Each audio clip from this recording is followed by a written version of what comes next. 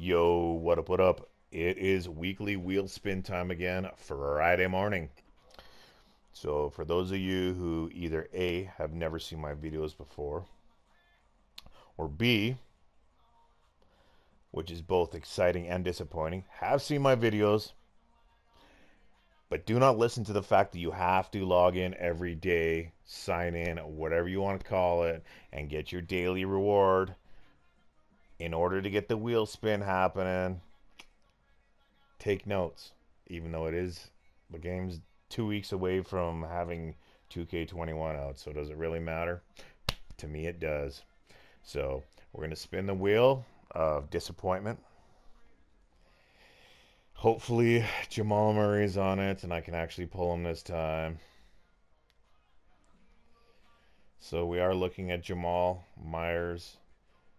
Pascal, Kenny Smith. See, these are all the guys I could not pull from those Players Club mystery packs.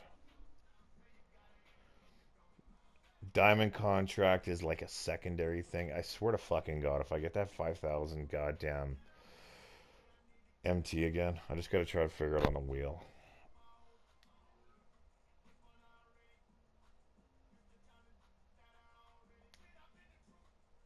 Card me. Oh, again. Fuck you, you fuck. See, this is a bullshit, dude. Three weeks in a row. There's no fucking way this is random. That's a fucking graphic.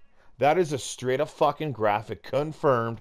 Doesn't matter when you push the fucking button. They've already dictated what the fuck they're to give you. There's no fucking way that three weeks in a row it's the same shit. How many fucking things were on there?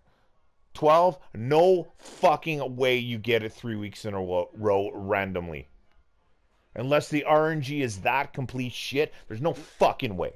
But, anyways, good luck in your wheel spin if you're doing it this week. And as per always, keep your grind game strong.